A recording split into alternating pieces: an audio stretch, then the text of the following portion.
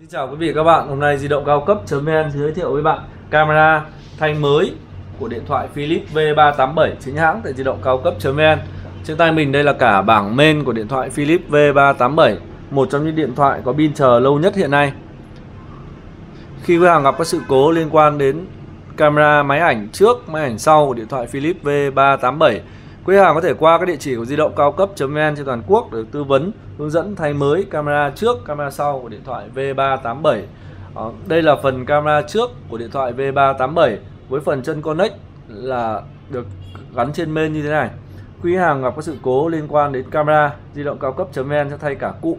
ờ, camera trước, camera sau của, của điện thoại Philips V387 chính hãng. Mọi thông tin về dịch vụ thay mới, sửa chữa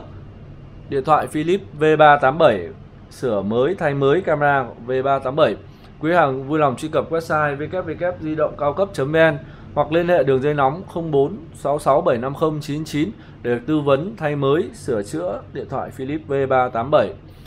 Xin cảm ơn quý vị đã xem video của di động cao cấp.vn địa chỉ cung cấp dịch vụ sửa chữa điện thoại Philips hàng đầu hiện nay.